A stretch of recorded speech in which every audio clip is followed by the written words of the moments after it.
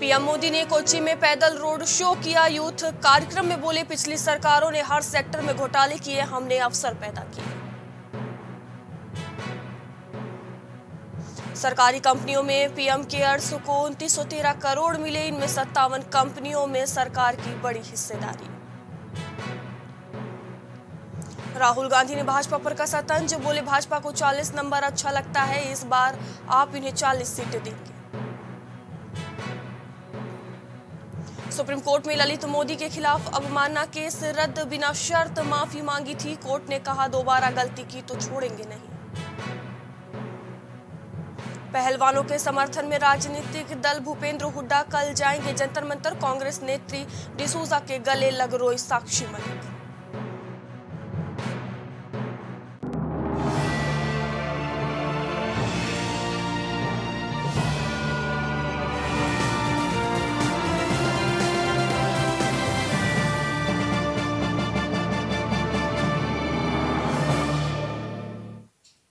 नमस्कार, मैं हूँ मयूरी श्रीवास्तव, आप देख रहे हैं प्राइम टीवी, वक्त हो गया है उत्तर प्रदेश की बड़ी खबरों का। निकाय चुनाव में दूसरे चरण के मतदान का अंतिम दिन खत्म हो गया। अब 11 मई को वोटिंग होगी। बुलंदशहर के कस्बा गुलावटी में नगर पालिका अध्यक्ष पद के सबसे चर्चित प्रत्याशी शुएब भैया ने निर्दलीय उम्मीदवार के तौर पर अपना नामांकन पर्चा दाखिल किया है। अब देखना होगा की गुलावटी में नपा अध्यक्ष की कुर्सी का ताज किसके सिर सजेगा। नामांकन के बाद मीडिया से मुखातिब होते हुए विकास के मुद्दे की बात पर सुएब भैया ने क्या कुछ कहा, आइए आपको सुनाते हैं।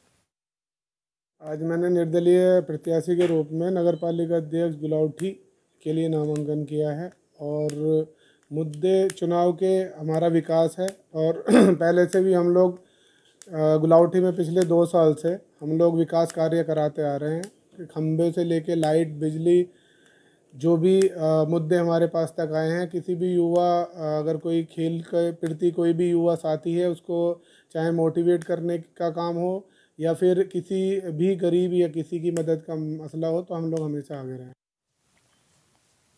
जनपद सिद्धार्थ नगर में निकाय चुनावों के दूसरे चरण के नामांकन करने का आखिरी दिन पूरा हो चुका है। सिद्धार्थ नगर की दो नगर पालिका और नौ नगर पंचायतों में कई पार्टियों के नेताओं ने नामांकन किया। इसी कड़ी में कांग्रेस पार्टी की तरफ़ से इटवा नगर पंचायत अध्यक्ष पद हेतु डॉक्टर नादिर सलाम ने सैकड़ों समर्थकों के साथ जाकर अपना नामांकन पत्र दाखिल किया। डॉक्टर नादिर सलाम ने बात करते हुए बताया कि आज पूरा देश कांग्रेस की तरफ़ आशा से देख रहा है।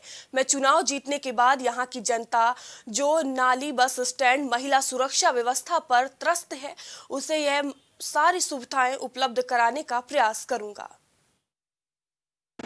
देखिए, आज भाजपा की जो हालत है और जो हालत में देश में बना के रखी है, वो बुरा चर्चा है। उसकी पोल मानो खुल गई आज भाजपा का पोल खुल चुका है और सारे लोग उत्तर प्रदेश के ही नहीं, पूरे हिंदुस्तान के लोग कांग्रेस की तरफ़ टकटकी लगाए निगाहों से देख रहे हैं। वो कांग्रेस को भविष्य मान रहे हैं और इस जो है अहंकारी सरकार से छुटकारा पाना चाहते हैं। इसलिए मैं मानता हूँ कि इटवा ही नहीं, पूरे प्रदेश में इस नगर निकाय चुनाव जनपद सिद्धार्थ नगर में निकाय चुनावों के दूसरे चरण के नामांकन करने का आखिरी दिन पूरा हुआ। सिद्धार्थ नगर की दो नगर पालिका और नौ नगर पंचायतों में कई पार्टियों के प्रत्याशियों ने नामांकन किया। इसी कड़ी में आदर्श नगर पंचायत विश्वकोहर से आज़ाद समाज पार्टी की तरफ़ से चेयरमैन प्रत्याशी सलीम रायनी ने सैकड़ों समर्थकों के साथ इटवा तहसील में जाकर अपना नामांकन पत्र दाखिल किया। इस दौरान सलीम रायनी ने मीडिया से बात करते हुए बताया की कि विश्वकोहर नगर पंचायत की सभी वोटर उनकी तरफ़ आशा भरी नज़रों से देख रहे हैं।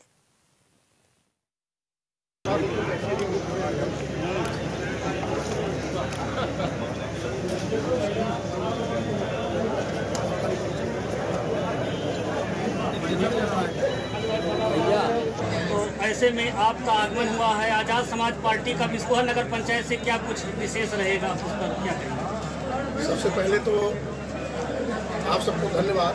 लोकतांत्रिक व्यवस्था में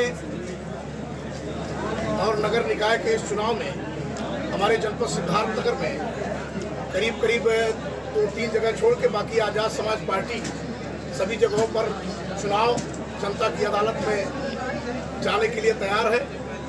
और आज मुझे लगता है काफ़ी नॉमिनेशन हो रहे हैं। उसी के क्रम में आपके इटवा तहसील में नगर पंचायत बिस्कोहर और नगर पंचायत इटवा के हमारे दो कैंडिडेट हैं, भीमा।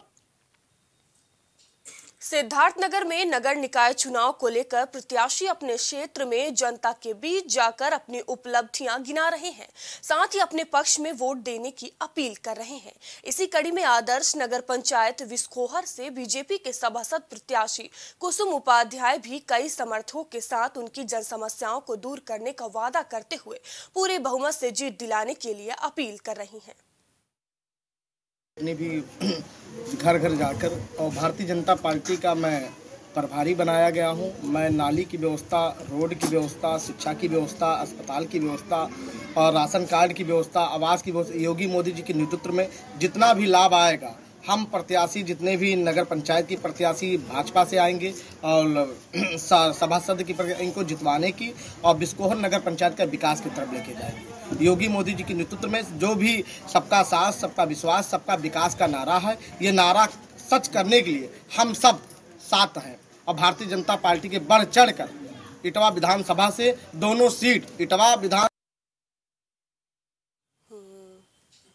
आगरा की पहली बैकलाइन का अपर नगर आयुक्त ने उद्घाटन किया, जिसके बाद हिंग की मंडी वार्ड तिरपन में ये नगर निगम की पहली बैकलाइन बन गई। वहीं मौके पर अपर नगर आयुक्त के द्वारा सफ़ाई निरीक्षक, सुपरवाइजर और कर्मचारियों का सम्मान समारोह भी रखा गया। सफ़ाई निरीक्षक आशुतोष वर्मा ने बताया कि वार्ड तिरपन मंटोला हिंग की मंडी में पहली बैकलाइन बनाई गई है। पहले ये बहुत गंदी रहती थी। नगर निगम आईसी टीम ने संयुक्त रूप से एक मुहिम चलाकर स्थानीय लोगों की सपोर्ट के साथ यहाँ पर पेंटिंग कराई, जिसमें स्थानीय लोगों का भी सपोर्ट रहा।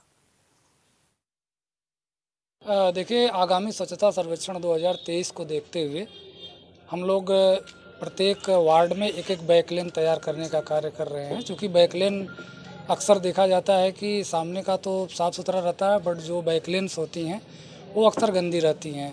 तो स्वच्छता सर्वेक्षण में बैकलेन का भी एक अहम रोल होता है, उसके भी मार्क्स होते हैं। उसी के तहत हम लोगों ने प्रत्येक वार्ड में एक एक बैकलेन तैयार करने का भी निर्णय लिया है नगर आयुक्त महोदय ने।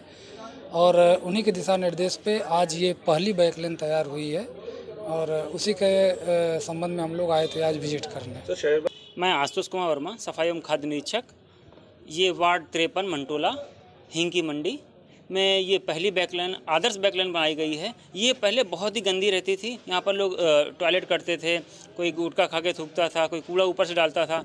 तो हम लोगों ने एक मुहिम चलाकर, लोगों के, स्थानीय लोगों से सपोर्ट के साथ में एक कार्य करा के इस पर सबसे पहले हमने बैकलाइन की सफ़ाई करा के यहाँ पर पेंटिंग कार्य शुरू कराया। जिसमें स्थानीय लोगों का सपोर्ट बहुत अच्छा रहा। लोग अब इस कार्य को बहुत सराह रहे हैं। तो बस मेरा अनुरोध सभी से यही है कि जिस तरीके से ये साफ़ सुथरा हमने कर दिया है अब इसको काम हो रहा है आईसी के द्वारा सब लोगों की देखरेख में शुरुआत हो रही है। किस तर्ज पे जो बैकलाइन को तैयार किया गया है? देखिए स्वच्छ सर्वेक्षण हर साल होता है। उसमें क्या है कि हमारे अलग अलग निगमों में जितना भी है स्वच्छता के रैंकिंग की जाती है। तो उसमें रह के हम लोग आगे का एरिया तो साफ़ कर लेते हैं, लेकिन पीछे का जो एरिया है, देखने में आया है कि वो, उसमें नंबर हमारे माइनस जाते हैं। तो हम लोग उस चीज़ पे अब लड़ाई कर रहे हैं, जंग लड़ रहे हैं, जो चीज़ों को साफ़ होना चाहिए, वाकई में साफ़ सुथरा होना चाहिए। तो उसी के तहत हमने एक आदर्श बैक लेन आज पहली आगरा की शुरुआत की है, जिसका उद्घाटन अभी अपर नगर बस्ती में एसपी गोपाल कृष्ण चौधरी के निर्देश पर चोरी की घटनाओं को अंजाम देने वाले शातिर चोरों की गिरफ्तारी हुई है।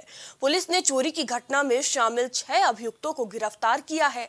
साथ ही अभियुक्त के पास 10 लाख रुपए की कीमत का सामान भी बरामद किया गया है। बता दें कि एसपी गोपाल कृष्ण चौधरी ने प्रेस कॉन्फ्रेंस कर घटना का खुलासा किया। उन्होंने बताया कि गिरफ़्तार करने सर्विलांस सेल प्रभारी शशिकांत, चौकी प्रभारी गांधीनगर जितेंद्र सिंह आदि शामिल रहे। ये थाना कोतवाली बस्ती और एसओजी की टीम ने एक चोरों के गैंग को पकड़ा है। इन्होंने कोतवाली क्षेत्र के अंदर तीन चोरियाँ अभी जानकारी में जिनकी की है। इनके पास से करीब दस लाख का सामान रिकवर हुआ है और दो लाख अट्ठासी हज़ार कैश रिकवर हुआ है। एक घटना जो 15 अप्रैल को हुई थी, उनमें घर घर में से ये आभूषण ले गए थे सोने और चांदी के। वो रिकवर हो गए हैं और जो कैश चोरी हुआ था रिकवर हो गया है। इसमें छः लोग अभी अरेस्ट हुए हैं। अहमद खान, अल्ताफ़, शाहरुख, सैराज, नईम और रमेश। ये नईम इसमें उत्तर प्रदेश की खबरों में अभी के लिए इतना ही। आगे आपसे फिर होगी मुलाकात। तब तक लिए बने रहिए प्राइम टीवी के साथ। नमस्कार।